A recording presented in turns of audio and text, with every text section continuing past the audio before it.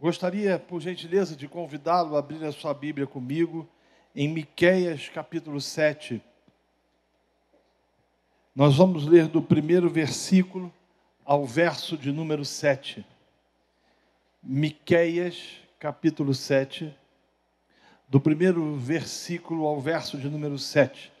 Na medida em que você for achando o texto, eu o convido a colocar-se de pé, para que a gente possa fazer a leitura da palavra do Senhor.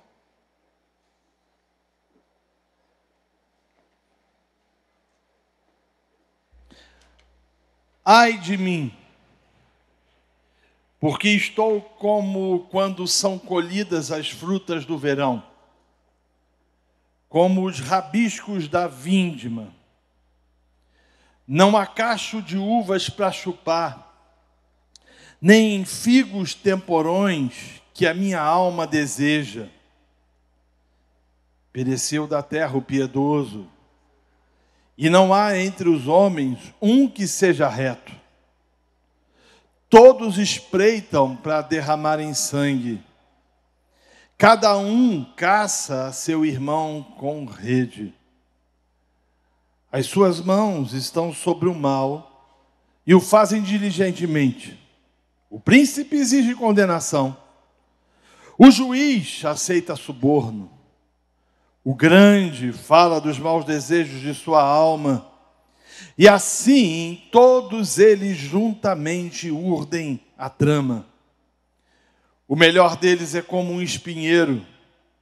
O mais reto é pior do que uma sebe de espinhos. É chegado o dia anunciado por tuas sentinelas, o dia do teu castigo. Aí está a confusão deles. Não creiais no amigo, nem confieis no companheiro. Guarda a porta de tua boca àquela que reclina sobre o teu peito. Porque o filho despreza o pai, a filha se levanta contra a mãe, a nora contra a sogra. Os inimigos do homem são os da sua própria casa. Eu, porém, olharei para o Senhor e esperarei no Deus da minha salvação. O meu Deus me ouvirá. Você pode sentar. Meus irmãos, antes de eu tratar especificamente do texto, permita-me falar um pouco a respeito do contexto desse livro. Miqueias é apresentado como um profeta que falava com autoridade dada pelo Senhor.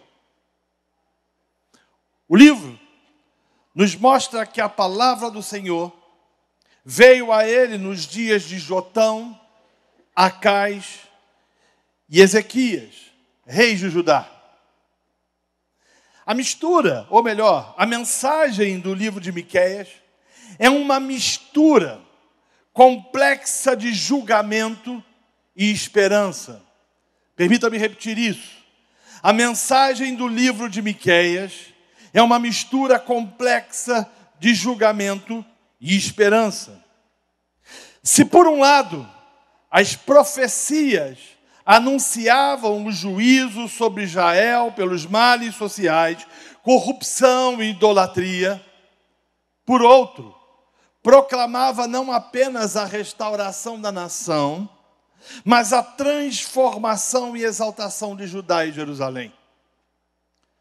No livro, Miqueias condena os governantes, condena os sacerdotes e profetas de Israel que estavam explorando e enganando o povo. Na verdade, o profeta deixa claro que era por causa de suas obras que Jerusalém seria destruída. No capítulo 7, Miqueias descreve uma época de grande corrupção em todos os níveis da sociedade.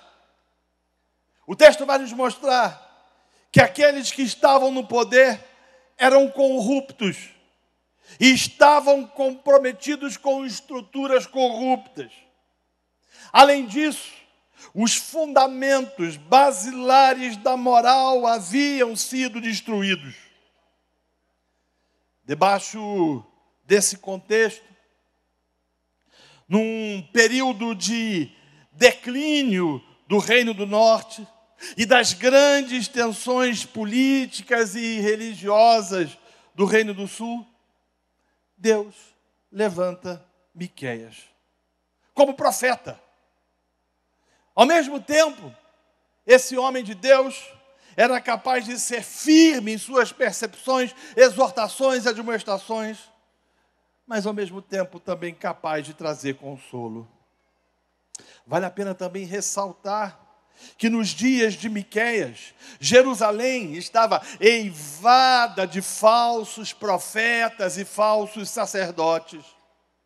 Ademais, o texto é claro em afirmar que os homens de autoridade haviam vendido a justiça. Permita-me repetir essa premissa novamente.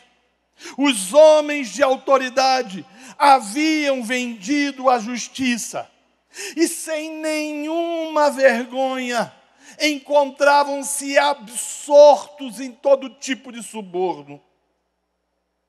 Isso me faz pensar em Diógenes, filósofo grego do século IV a.C., que certa feita, em plena luz do dia, caminhava por Atenas com uma lanterna nas mãos, à procura de um homem honesto. E talvez você esteja a perguntar: como caminhar com uma luminária de dia? Que sentido faz isso? Na verdade, naquela época, como também na época de Miqueias, encontrar um homem piedoso era tão impossível como colher frutos da safra ou encontrar um suculento cacho de uvas depois da vindima. Observe que Miqueias olha para a condição moral e espiritual do seu povo e solta um profundo gemido. Que desgraça minha!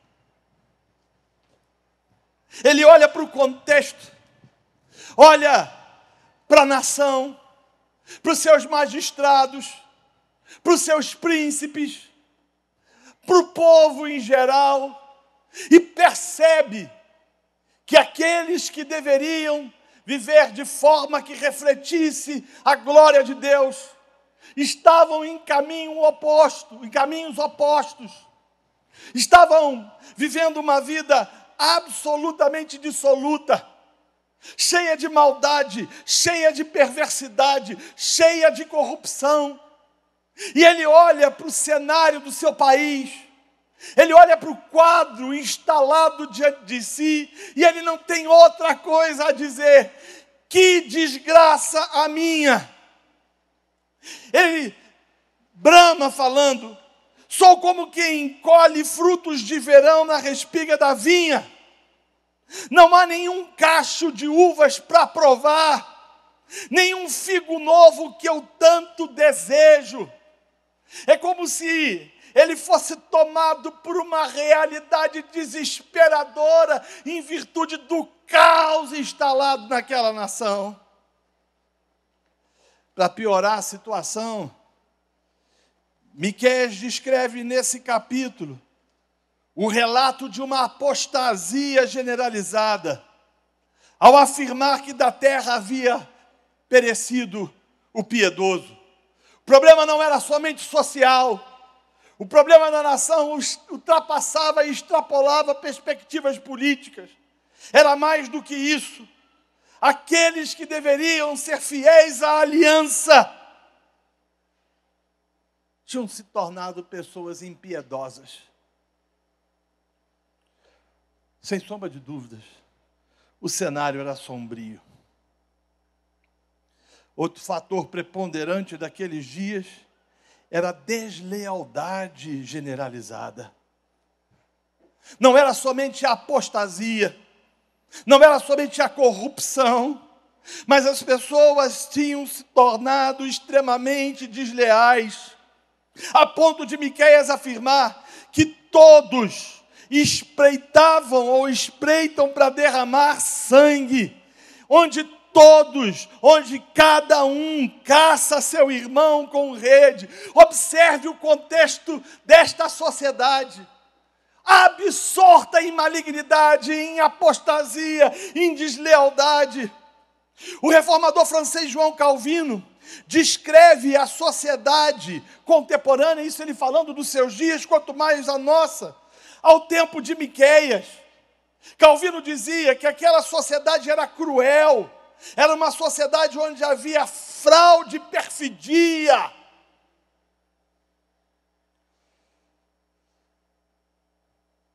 A liderança política, o poder judiciário e os ricos haviam se unido num conluio para perverter a justiça, corromper os tribunais e oprimir os pobres.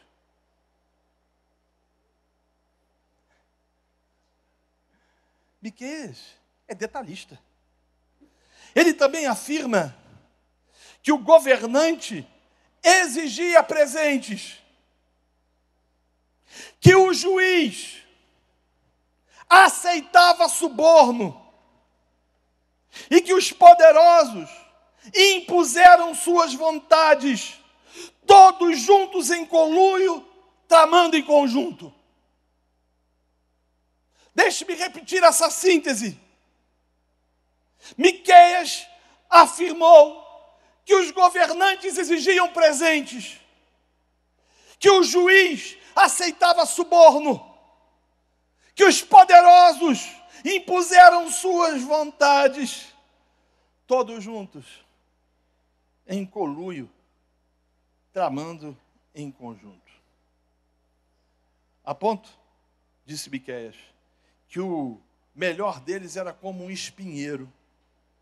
E o mais correto é pior que uma cerca de espinhos. Para Miqueias, a degradação havia chegado ao nível mais baixo. Era o fim da linha. Agora, diante dessa degradação anunciada, Miqueias afirma o seguinte: primeiro, ele diz: Chegou o dia anunciado pelas suas sentinelas, o dia do castigo de Deus. Agora reinará a confusão entre eles. Observe a sentença do profeta. Ele está diante de um quadro terrível. Ele está diante de uma nação que caminhava largos passos para uma apostasia que poderia ser letal. Ele estava diante de um povo que tinha abandonado a aliança estabelecida com o Criador. Ele estava diante de uma sociedade que, conluio, colaborava ou contribuía com aspectos que pudessem espoliar aqueles que sofriam a fim de enriquecer cada vez mais.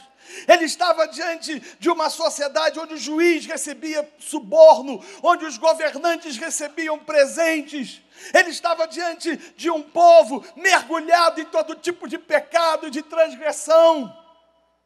Aquilo faz com que ele gema, aquilo faz com que ele seja tomado de uma profunda inquietação na alma. Que desgraça minha, que tristeza minha, que fim é o meu, que problema é esse, que sofrimento terrível nos virá.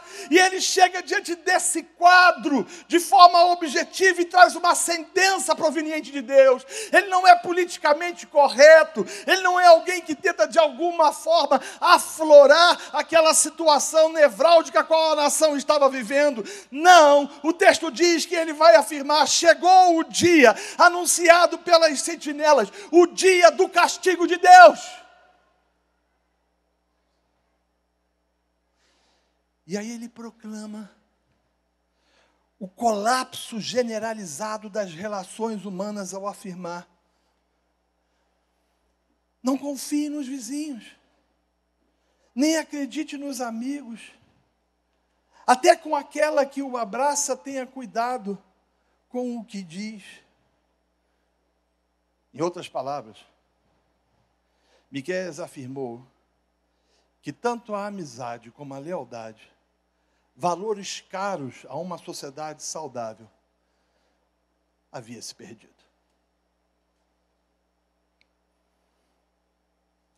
Para ele, os relacionamentos haviam sido sacrificados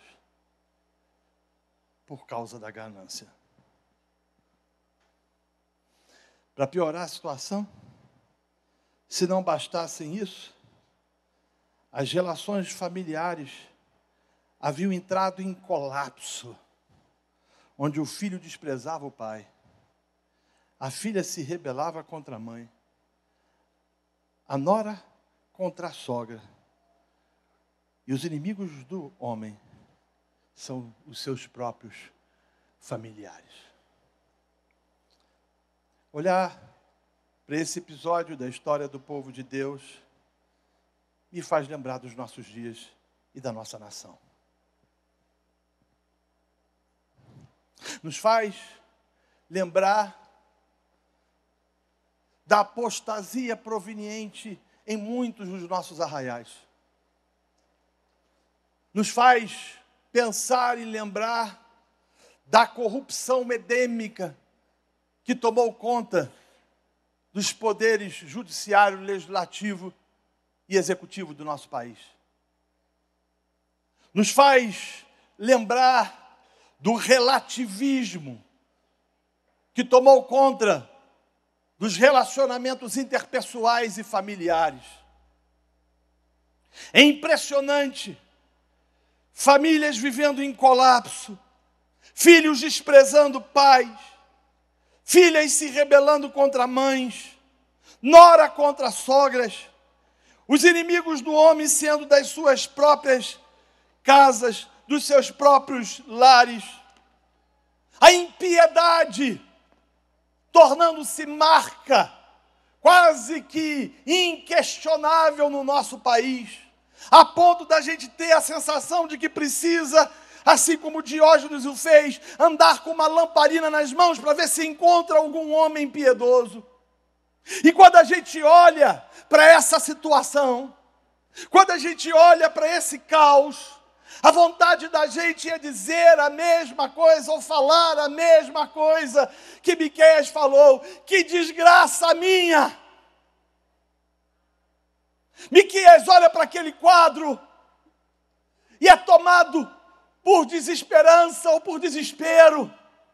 É tomado por um sentimento de tristeza e de angústia. E assim, às vezes, nós somos tomados diante do nível de maldade, de malignidade, de perversidade. Olhamos para o período do carnaval e vemos, através das mídias sociais ou da imprensa, a esbórnia vivenciada pelo povo, a hipocrisia que se tornou marca de uma geração que virou as costas para o Senhor. E aí a gente diz que desgraça nossa. Mas, assim como o Senhor julga ou julgou Judá, ele continua julgando aqueles que lhes viram as costas. Para Miqueias, a situação era tão complicada que os familiares estavam vivendo debaixo do mais profundo caos a ponto dos inimigos do homem sejam das suas próprias casas. E daí surge uma pergunta. E eu vou parafrasear Franz Schaeffer. Como viveremos? Eu duvido que você não tenha feito essa pergunta nos últimos tempos. Você olha para a imprensa, para a mídia, você vê notícias, como nós vimos no Rio de Janeiro, de um homem que violentou sexualmente uma criança de seis meses de idade. E a gente pergunta: como viveremos nesse mundo mal? diante do caos, Miqueias olha para o mundo tomado pela maldade e pela injustiça e talvez tivesse questionado o que fazer ou como viveremos. Observe. Miqueias poderia ter sido tomado pelo desespero em virtude do caos reinante.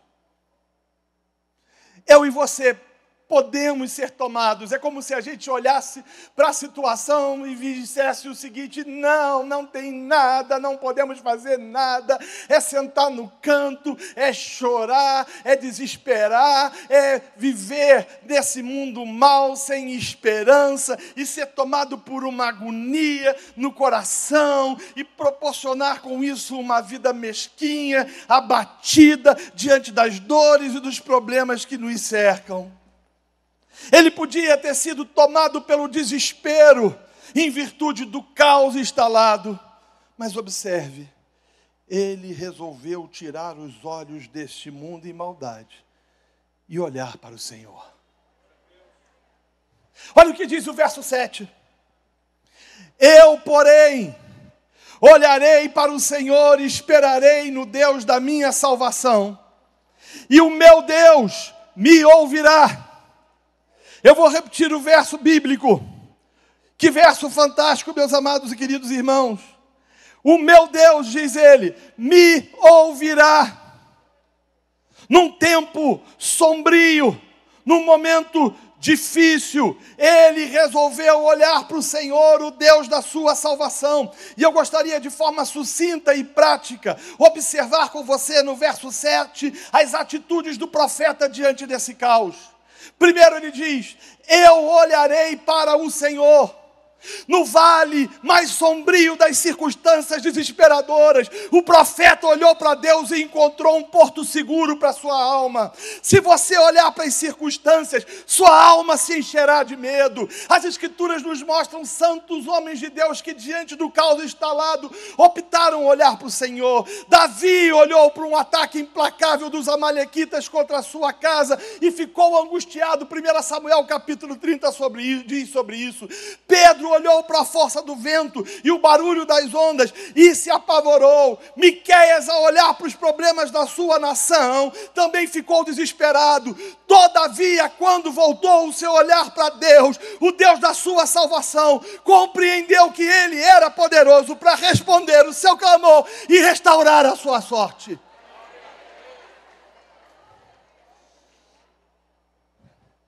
Em tempos difíceis, nós precisamos olhar para o Senhor.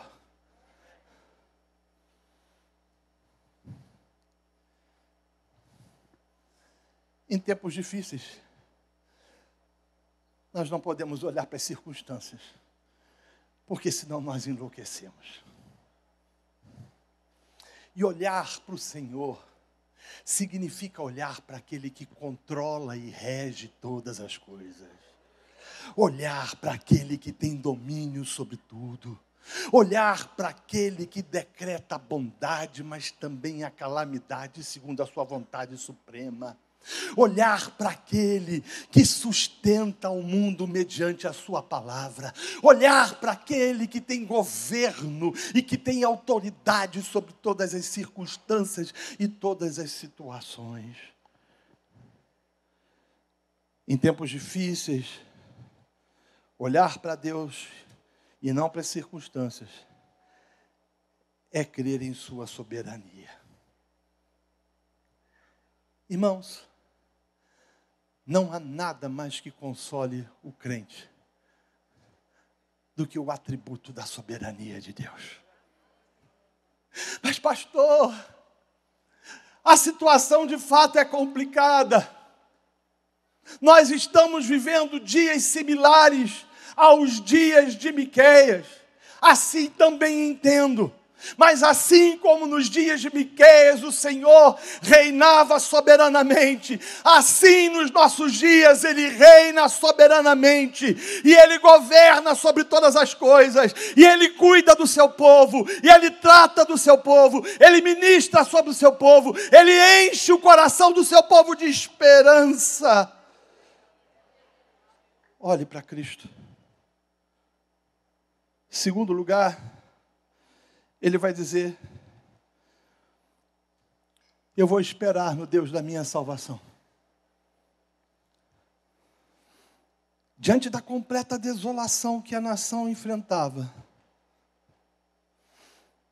Implicitamente, Miquel deixa claro que ele entendia que a solução não vinha dos homens do seu tempo. Sabe quando você diagnostica o fundo do poço? Deixe-me ser mais claro, exemplificar isso melhor. Sabe quando o Vasco chega na penúltima rodada e vê que não tem mais jeito e vai para a segunda divisão?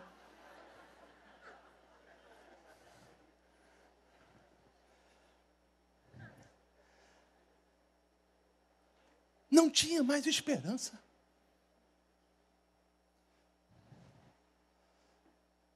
Ele entendia que a solução não vinha dos homens. Ele não tinha condições de esperar nada de pessoas da sua sociedade. Mas a sua fé o levou a esperar em Deus, porque ele sabia que do alto viria a solução. Por favor, pare, pense e responda. Olhe para a realidade dos nossos dias.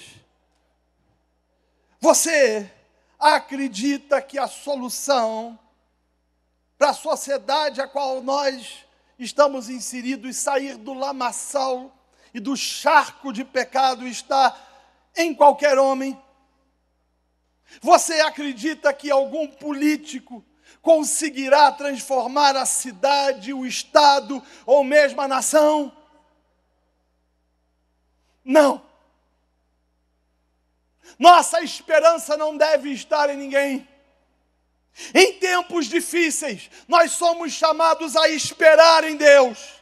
Dele vem a solução, dele vem a restauração, dele vem a transformação, dele vem a reconstrução, dele vem a esperança para essa nação. Foi o salmista que afirmou: Deus é a minha única esperança, nele eu confio e fico tranquilo, porque dele vem a minha salvação. Descanso somente em Deus, confio somente nele, e a minha alma ficará tranquila, porque ele é a fonte da minha esperança.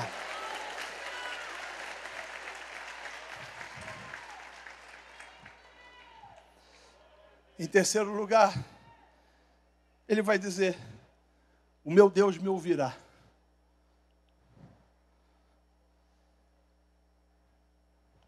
No meio da depravação moral e espiritual do povo de Deus, no meio de uma nação completamente enferma e corrupta, o profeta Miqueias guarda uma certeza em seu coração: Deus me ouvirá. Meus irmãos, o que seria de nós se Deus não intervisse nos nossos dramas e nos nossos dilemas? Eu fico pensando naqueles que acreditam ou defendem o teísmo aberto. Que vida desgraçada. Não acreditam que Deus intervenha. Não acredita que Deus responde orações. Imagine você estar num leito de hospital e não poder orar porque não acredita que Deus vai intervir na sua miséria. Não é esse o Deus revelado pelas Escrituras. O Deus revelado pelas Escrituras é soberano, é onisciente, é onipotente, é onipresente, é sempre eterno, mas é Deus pessoal, que ouve o clamor do seu povo, que se deleita em arrependimento, que se deleita diante dele, que se prostra, que, que, que ama aquele que se prostra diante dele e que ouve orações.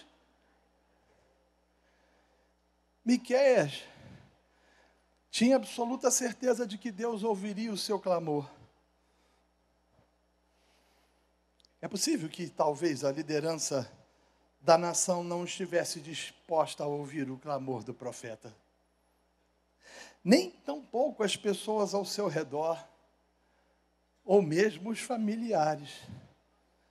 Mas ele tinha a certeza que o Deus Todo-Poderoso estava com seus ouvidos inclinados para ouvir o seu clamor. Vamos caminhar para o final do sermão e fazer algumas aplicações em virtude do tempo. Quero lhe fazer uma pergunta. Diante dessa situação nevrálgica a qual vivemos, onde estão os seus olhos? No caos? Instalado? Na multiplicação da iniquidade?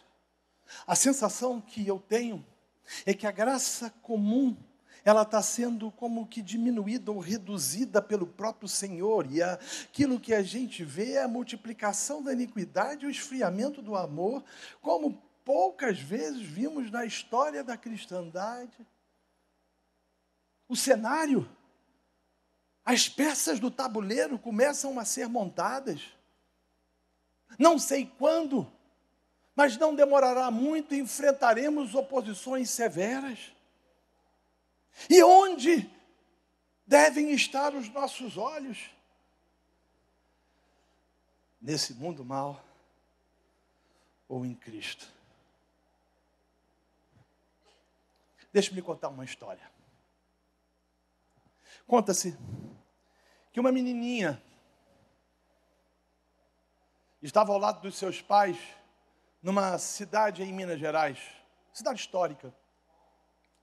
E a menina andando para o lado, olhando as obras de Aleijadinho, embasbacada com aquilo, aos poucos foi se afastando dos seus genitores quando percebeu que tinha se perdido deles. E a menina começou a chorar.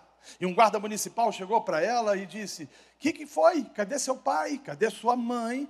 E ela não conseguia ah, responder, somente chorava. E ele falou: Você tem o número do telefone do seu pai, da sua mãe? E ela não sabia. E a menina se desesperava cada vez mais. Até que o guarda fez uma pergunta que ajudou a menina a entender a sua situação. Ele disse: Você lembra de um lugar ou do lugar que você estava quando você viu pela última vez os seus pais? E ela respondeu: Eu estava numa praça, tinha uma igreja e no alto tinha uma cruz. E aí, o guarda municipal entendeu que a menina tinha se desviado um pouquinho e trouxe ela de volta e ela encontrou os seus pais. Qual é a moral da história? Quando a gente tira os olhos da cruz, a gente se perde, a gente se desespera. Mas quando os nossos olhos estão em Cristo, ainda que a terra não floresça, ainda que os montes se lancem ao mar, ainda que enfrentemos os problemas mais difíceis e mais complicados, permaneceremos firmes na certeza de que o Senhor é aquele que nos sustenta. Segundo lugar, Será que você tem entendido que é melhor esperar em Deus?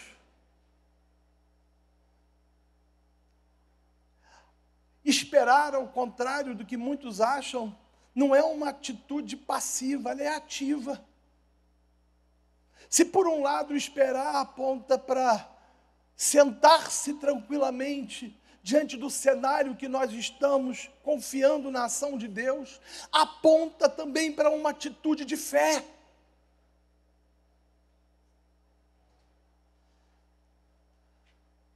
Terceiro lugar, será que você tem consciência que o Senhor é o Deus da salvação? E que agindo Ele, ninguém impedirá.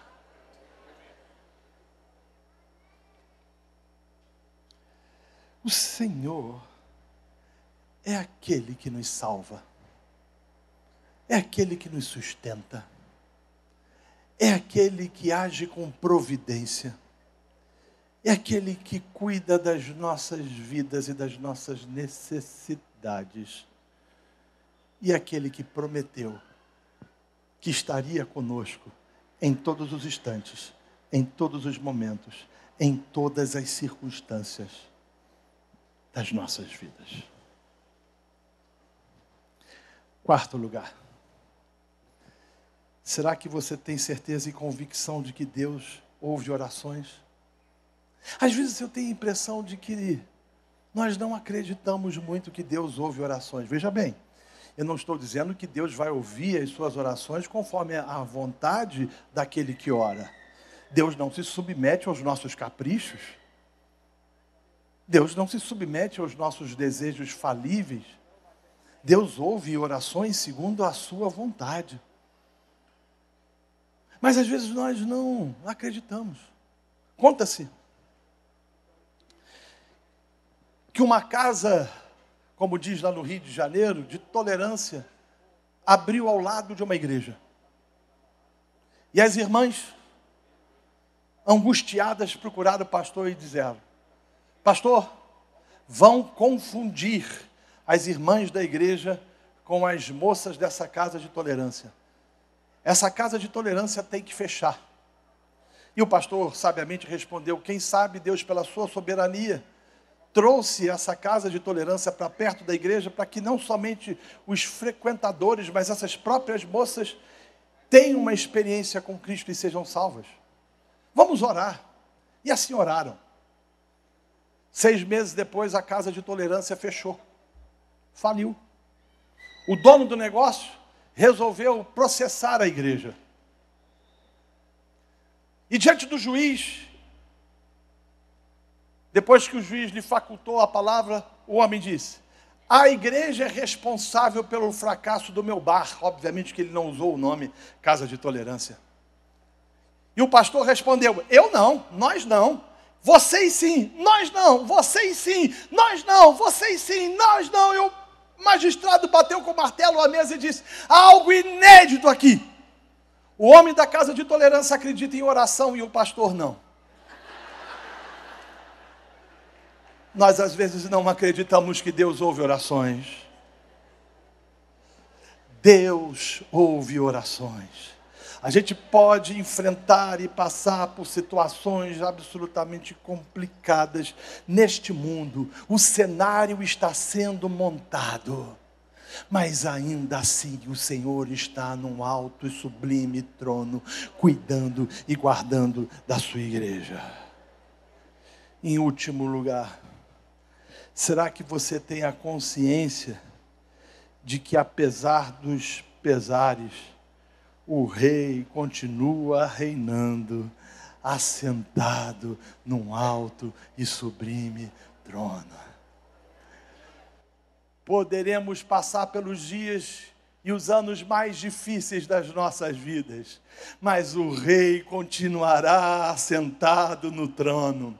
Poderemos daqui a um tempo enfrentar oposições por parte do iníquo, do homem da iniquidade, que não sabemos quando se manifestará, mas o Rei continuará sentado no trono, e esse Rei que está no trono, um dia há de voltar, ao tocar da trombeta, juntamente com miríades de anjos, virá nos buscar. E não somente isso, meus amados e queridos irmãos, com o sopro da sua boca, vai destruir o anticristo. E nós, aqueles que temos os nossos nomes nos escritos no livro da vida, viveremos com ele pelos séculos dos séculos, onde não haverá mais choro, onde não haverá mais lágrimas, onde não haverá mais sofrimento, onde não haverá mais tristeza, onde não haverá mais angústia, viveremos com Ele no novo céu e na nova terra, e glorificaremos o Rei, o Rei, o Rei dos Reis, pelos séculos dos séculos, e a glória ao Senhor, amém. Que o Senhor o abençoe, rica e abundantemente, em nome de Jesus.